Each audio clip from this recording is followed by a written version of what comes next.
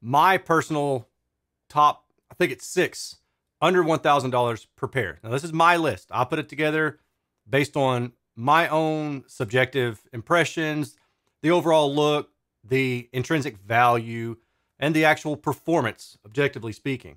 If you disagree, that's fine. As a matter of fact, the top two on this list, I had a hard time figuring out which one to place at number one. You could just flip either one of them and I'd be happy. But with that said, let's go. Actually, before we go any further, a couple things up front. I want to point out when I talk about on axis versus off axis, this is what I'm talking about. On axis is with the speaker pointed directly at you. Off axis is any angle away from the listening position. Also, when I say distance from the wall, what I'm talking about is the distance of the speaker's back to the wall behind it. Starting off at number six, the Kef Q150. These retail for about $600 per pair, but are often found at $350 on sale per pair. They have really good linearity on axis. They have wide vertical dispersion than most speakers on this list do at about plus or minus 50 degrees, thanks to their concentric design. They also have a very consistent horizontal radiation, so they don't flare in and flare back out at different frequencies. They keep that horizontal radiation profile which gives a better sense of overall soundstage. If you have a particular instrument that has a harmonic or has a couple different tones in it, for example, maybe a piano.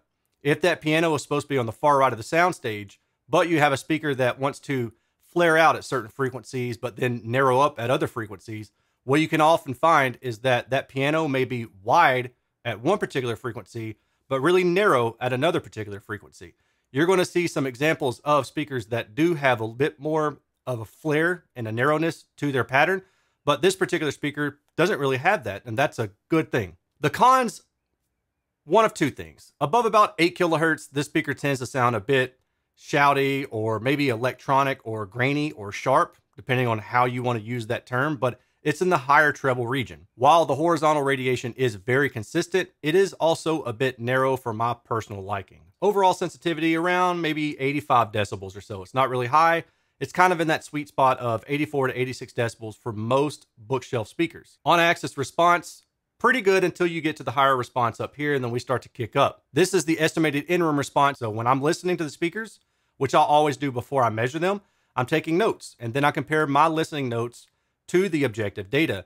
And pretty much so far, I haven't had a case where my subjective listening notes hasn't aligned with the estimated in-room response, which you see here. So I like to rely on this a lot for my interpretation of the measurements and how to best use the speaker. In this case, the extension runs to about 50 hertz and drops off very quickly. That is one of the reasons why I don't have this speaker higher in my list. Also, the boosted high frequency, as I said earlier, can sound sharp or electronic, and I do recommend you aim the speaker about 20 degrees off axis to bring that particular region down some. Horizontal radiation consistent at plus or minus 50 degrees. Just note, see how all this red is pretty consistent? It's not dropping down and coming back up. That's what I mean. Vertical radiation also is pretty consistent. It's not perfect. There is a flare up around 1K or so. We are less sensitive to these kind of aberrations in the vertical response region, so I don't really harp on them too much.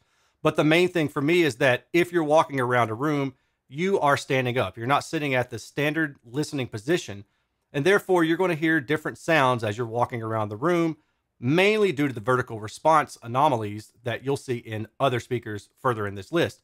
This particular speaker is less subject to that because this red pretty much stays within bounds of itself at about plus or minus 50 degrees. Number five on my list is the Polk R200. The Polk reference series R200 speakers that I'm talking about here retail for about $750 per pair. This speaker also has really good linearity, really good neutrality, and I would say it has pretty wide radiation to about 5 kilohertz. However, and this is where the con comes in, above about 5 kilohertz, the radiation starts to narrow up pretty quickly. The bass is also pretty weak and you have limited vertical dispersion.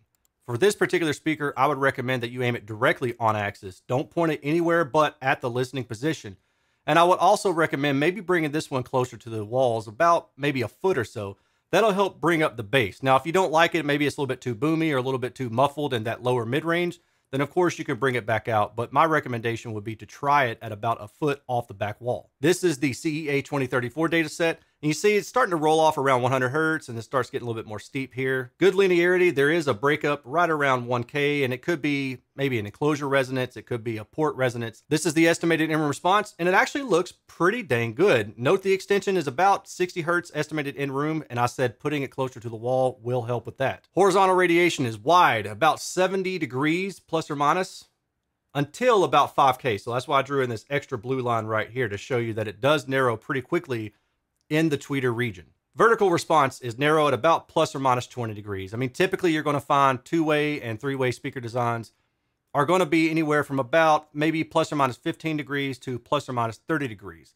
However, coaxial designs like the KEF are typically going to be wider at about plus or minus 50 and maybe a little bit above that. Number four on my list is the Klipsch RP600M2. These retail for about $650 per pair, but are often found on sale for around $500 per pair. This speaker also has good linearity, but especially when it's toed out by about 20 degrees.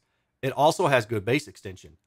The cons for this speaker are that it can be a bit hollow in the lower mid range, so it kind of sounds like the weight from lower male vocals and female vocals is kind of taken out. And in order to resolve that, you're going to probably have to equalize that up a bit. Placing it near a wall, it's not really going to help. This is the on-axis response, and you can see there's a lift in the treble, pretty constant, but if you turn it 20 degrees off, then you get this, and that lift has kind of gone down some. The estimated in-room response, I noted a couple things. There's a breakup around 13K. There's some scoop lower mid-range right here, and this is why I say if you have equalization, you could probably throw just a single parametric band of equalization at about maybe 300 hertz or so.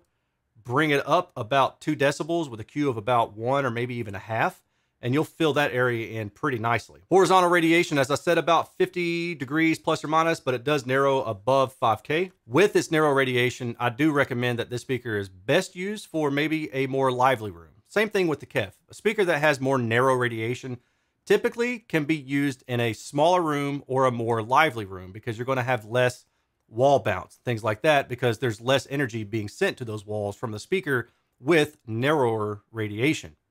If you have maybe a large room or you want to fill up a large space, multiple seats on the couch, then you're going to want to shop for a speaker that has wider radiation. And I would say anything above about 50 degrees is your starting point for that. And then vertical dispersion, again, about 20 degrees. This is kind of typical for most two-way designs. Number three, this is one of my personal favorites, and I often recommend this particular speaker. It is the ELAC DBR62.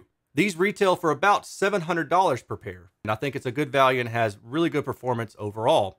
The one thing that I personally like about this is there's a bit of a bass bump around 100 hertz, which gives it a little bit more thump, a little bit more characteristic, and I personally like that. Now, purists may not like that, and so keep that in mind if you don't. This also extends the bass a little bit to where you might not have to buy a subwoofer. However, vertical positioning is pretty tight on this particular speaker, and you need to be within about 10 degrees plus or minus of that tweeter line in order to get the best overall sound. I do recommend bringing these out from the walls at about two feet or so, 0.6 meters. And I'll also note that this speaker will be a good candidate for sidewall absorption, and I'll tell you why shortly. First of all, let's look at the CEA 2034 dataset, and we can see that it looks pretty good. So at first glance, you probably think of the same thing I do. Well, this doesn't look that great. Well, there's a bit of a bump in the bass, as I said before, and there's a bit of a diffraction element dip going on around, what is that, about like 4K or so?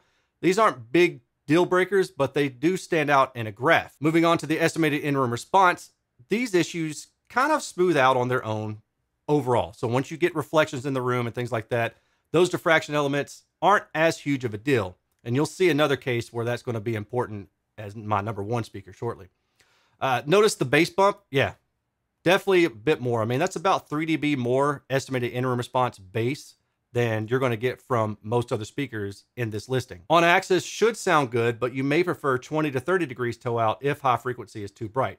So this 30 degrees in red right here, and then there's zero degrees in black, you may want to fine tune that. I recommend 10 degrees, but you may want to play around with 20 to 30 as well. Horizontal radiation is nice and wide at about plus or minus 70 degrees, but notice this drop right here. Well, so this drop, that's due to diffraction. And diffraction, just to quickly summarize for those of you don't know, the way that works is relative to the size of the drive unit playing, so a tweeter or a midwoofer, relative to that size, longer wavelengths are going to be sent all around the speaker and then to the side and to the front. Shorter wavelengths are going to be mostly directional, going toward the front, like high frequency stuff. With speakers like this, what typically happens is as you introduce the tweeter, the tweeter is going to be broader at lower frequencies. So let's say like two kilohertz to four kilohertz. And then maybe around six, seven, eight kilohertz, that tweeter starts to narrow up in intensity. Where it's wide, it's also hitting the side of the speaker baffle. And when it does that, there's a cancellation effect where it hits that speaker baffle and shoots out toward you. And in time, it's just a little bit off from that direct sound from that tweeter. So this little bit of a delay right here, over here, off the baffle edge, that creates a dip in response and then can also create a peak in response and you get a little bit of a, a comb filter, if you will. That's due to diffraction.